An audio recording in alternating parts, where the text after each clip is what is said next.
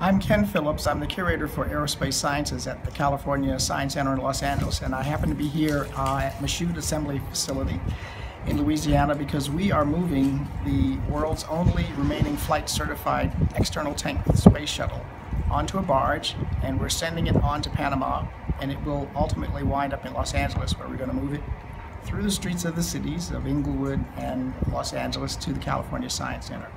And there we're going to uh, place it on display temporarily near the Space Shuttle Endeavour.